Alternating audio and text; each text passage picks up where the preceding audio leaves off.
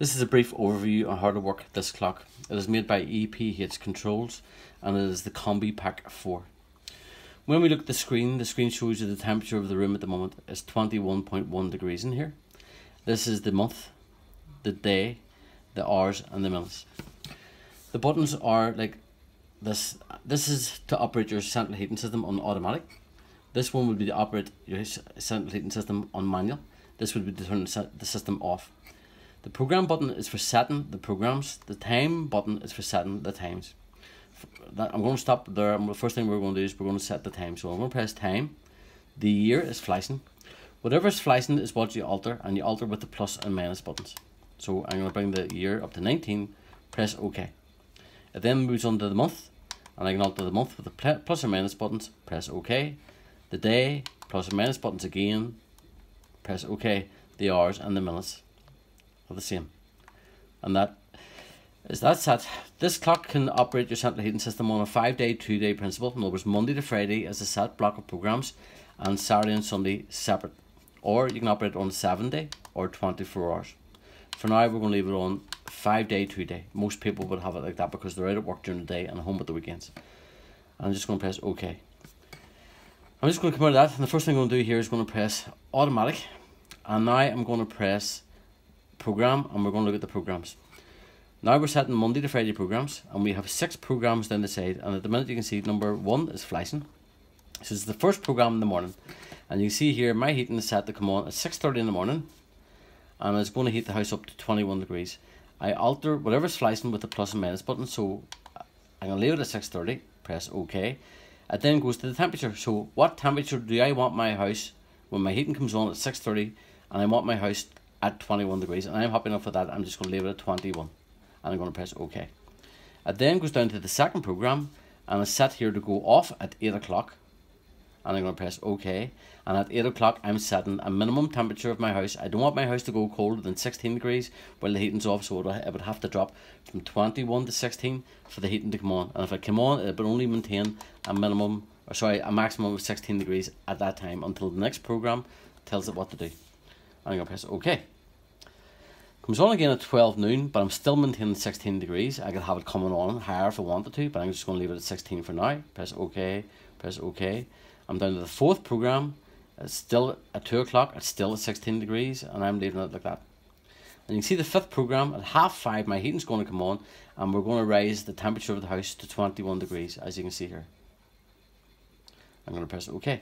At 10 o'clock, the heating will knock off and the heating will drop to a minimum temperature of 16 degrees. In other words, if the house dropped to 15, the heating would come on until it reached 16 and it would stop. But the drop from 21 degrees to 16 is more likely not going to happen throughout the night. I'm just going to press OK. The next time I press OK, it's going to go to Saturday and Sunday. And there we are, Saturday and Sunday, and we go down through the six programs for Saturday and Sunday. So I, the way I view it is number one program is on, two is off, 3 is on, 4 is off, 5 on, and 6 is off. So I'm just going to let you look through those. I'm just going to keep pressing OK. So at 8 o'clock, it's going to heat the house up to 21. At 10 o'clock, it drops back to 18 degrees at the weekends. Okay. Third program is at 12 o'clock, it's going to heat the house up to 21 degrees again. Okay. Okay. Next program, number 4 program, at 2 o'clock, we're going to drop back to 18 degrees. Okay. At fifth program, the heating's going to come on at half five and it's going to heat the house up to 21 degrees. Okay, okay. At 11 o'clock at night, the heating will go off and it'll drop back to 16 degrees. And I'm going to press OK. I'm just going to come out of that now because I'm finished setting the program, so I'm just going to press automatic to come out of that. So, if you want to work with those programs that I've just shown you, you have to have your system on automatic, as you can see on the screen. Sorry, let me just come back. As you can see on the screen here. So we're automatically operating the clock with the programs that we've just set. Okay.